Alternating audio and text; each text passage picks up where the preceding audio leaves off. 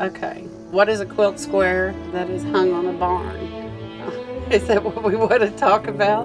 This phenomenon that's spreading across the United States is taking a simplistic concept of creating a plywood quilt square, just like a square that would go in a quilt, and hanging it on a barn.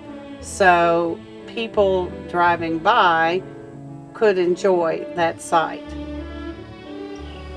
My name is Donna Sue Groves. I live here in Adams County, which is part of the Ohio River Valley, and my job now is to get well and uh, beat breast cancer.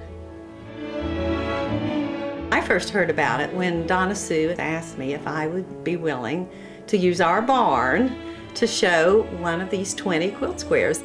We're really appreciative of what she started, and hopefully the rest of America is as well because it's quite a story.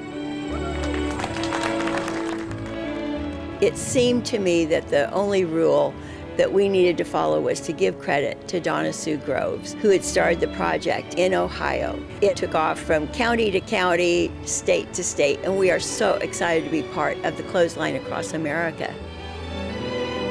Everybody can play. Everybody can play.